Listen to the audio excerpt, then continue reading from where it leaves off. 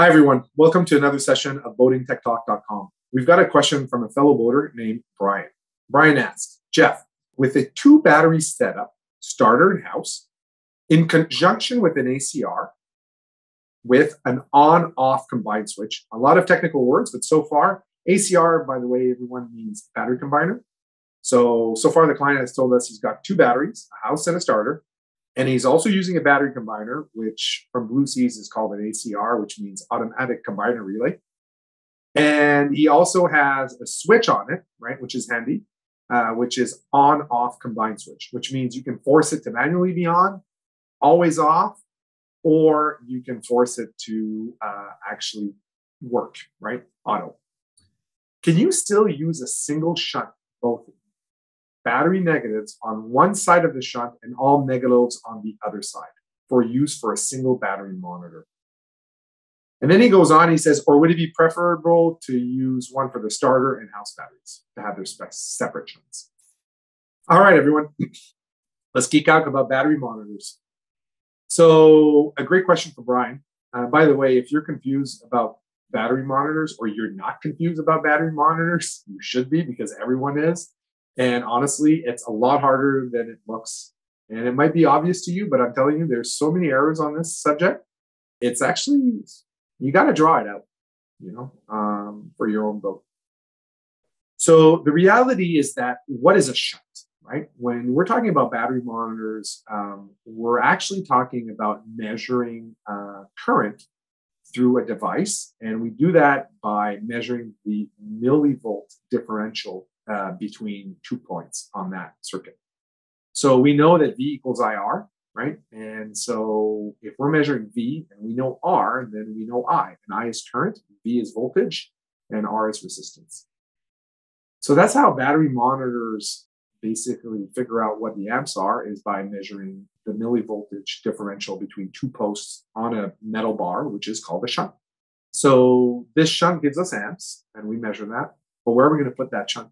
Now, as Brian suggested, if you were actually going to connect both battery negatives together on one side of the shunt and have all loads connected to the other side, your battery monitor would effectively be looking at the battery bank capacity of your house and starter as one.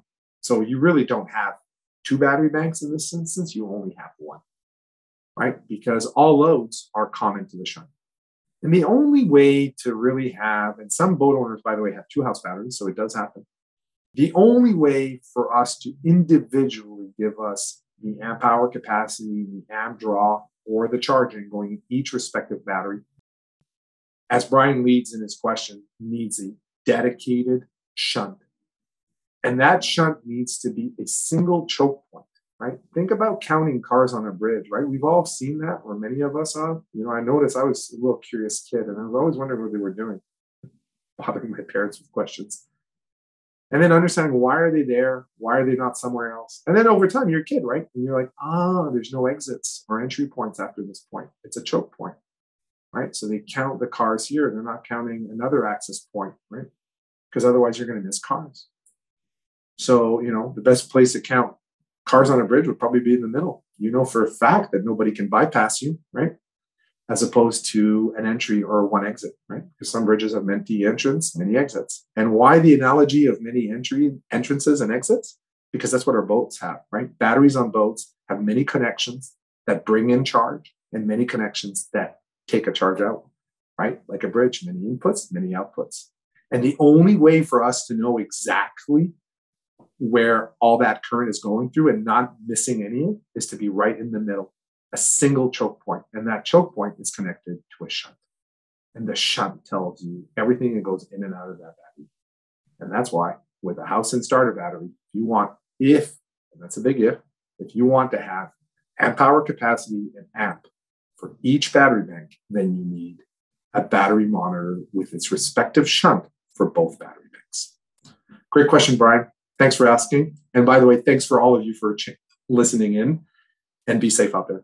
If you're curious, we've written whole articles about this. Go on our website, search it out, uh, and we've got a lot of other uh, tech talks about this very topic. If you haven't subscribed to this channel, please do.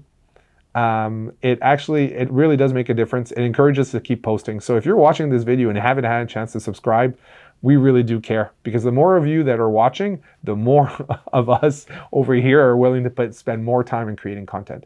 So thanks again.